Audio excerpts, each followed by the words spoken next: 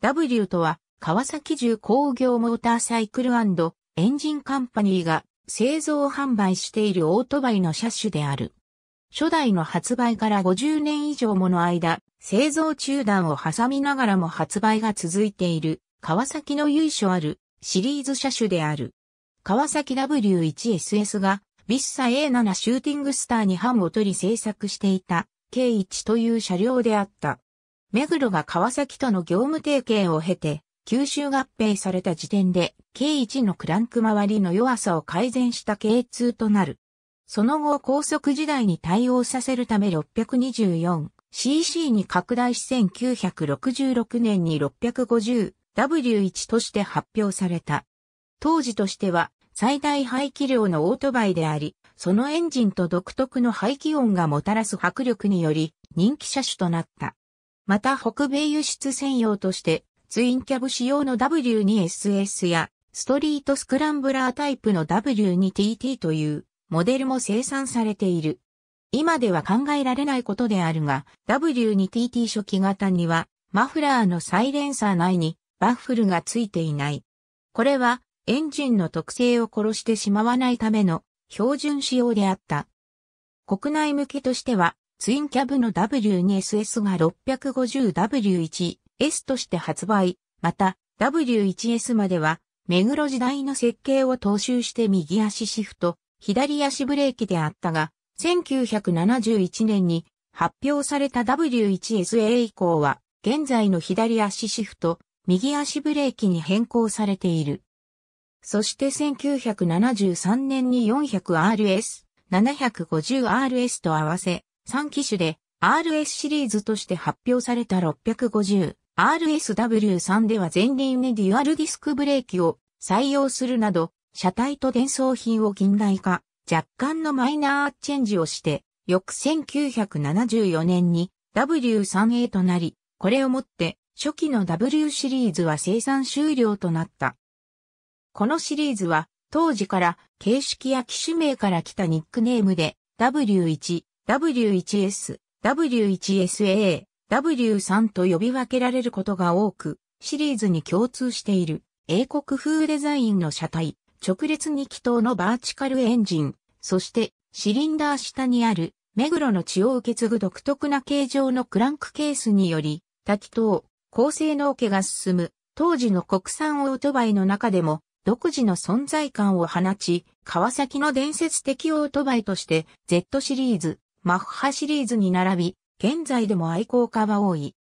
一方、川崎が主要マーケットとした北米地域では発売当時より、ビッサの兄弟車などとデザイン面での評判が芳しく、なく、また、特に高速走行時に発生する振動が凄まじく、オイル漏れや各種部品の脱落に関する苦情が絶えなかったことなどにより、販売成績的には、後の H1 や Z1 に比べると見劣りのするものであった。そのため A 社のコピーという範疇を出ない。川崎 W650W650 は1998年12月発表、翌1999年2月から販売された車種である。オフエンジンの旧シリーズとは直接の関連はない新設計車種であるが、外観はトライアンフやビッサといった往年の英国車、もしくはネオクラシック、ネオレトロと呼ばれる上述の W1 を彷彿とさせる古風なもので、販売戦略上、W のネーミングが復活した。こだわりとして、専用設計の左右スイッチボックスや質感を高める一環として、外装部品に樹脂製ではなく金属製を採用した。特にハンドルの造形は凝っており、トップブリッジに取り付けられる中央部分は外径 25.4mm のインチバーと呼ばれる太さであるが、グリップやスイッチボックスが取り付けられる両端の部分のみ、ミリバーと呼ばれる外形 22.2mm に絞られるという変則的な太さとした。形状も俗にコンチネンタルハンドルと呼ばれるローハンドル仕様とグリップ3本分ほど高くしたアップハンドル仕様の2種類を用意する。搭載エンジンは排気量 675cc 空冷4ストローク、サイチェ C4 バルブ並列に気筒の専用に新設計されたものであり、メタル4点軸受けの一体単造クランクシャフト、振動低減のために一軸バランサー及びラバーマウントの採用、カム駆動にハイポイドベベルギアシャフトを用いるなど、特徴的な機構を持つ現代的なエンジンである一方で、見栄えの観点から空冷にこだわり、近年の大排気量車では珍しく、キックスターター、セルフスターターを共に標準装備する。往年の英国車風にシリンダーを直立させたほか、前述のベベルギアシャフトをオフのプッシュロット風に見せ、低く水平に伸びた排気管にキャブトン風のマフラーを装備するなど、古風な外観にまとめられた。72mmX83mm のボアストローク比は、近年のオートバイ用エンジンとしては、稀なロングストロークで、排気量に対して重めのフライホイールを採用していることも大きな特徴である。スロットルポジションセンサーや加速ポンプがついたに、連想式キャブレターとの組み合わせにより、低中速域から粘りや力強さを感じさせる出力特性を得ている。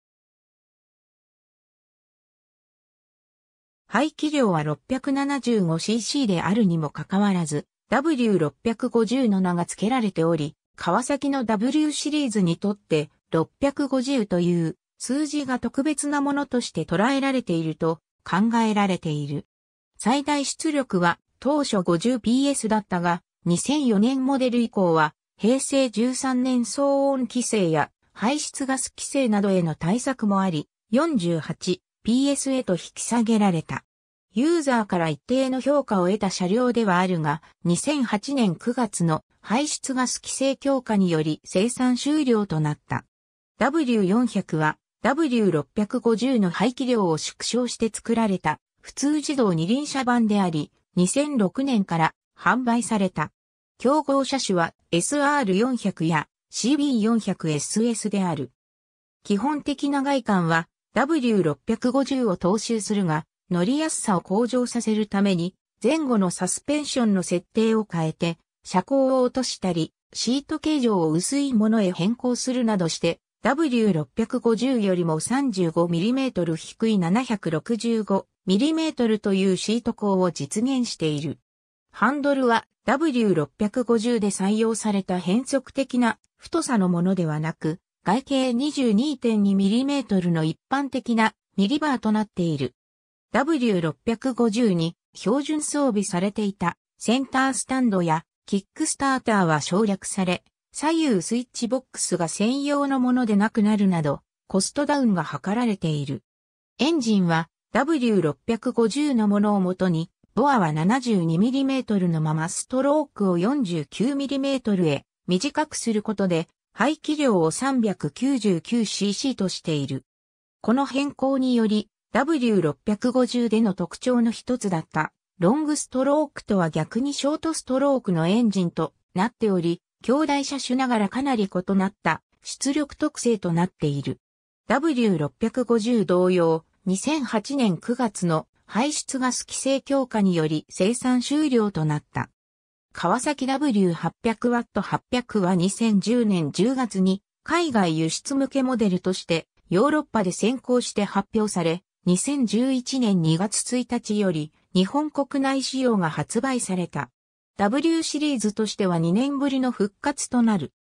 エンジンは W650 をベースにボアアップを行い、ボア X ストロークを 77.0mm、X83.0mm として総排気量を 773cc に拡大し、燃料供給装置には新たに電子制御式燃料噴射装置を採用している。エンジン出力は W650 からの 48PS が維持されているが、極低回転域で最大トルクを発揮させるセッティングが行われている。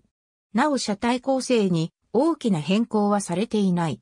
2016年に欧州日本仕様のファイナルエディションが発表され、生産終了となった。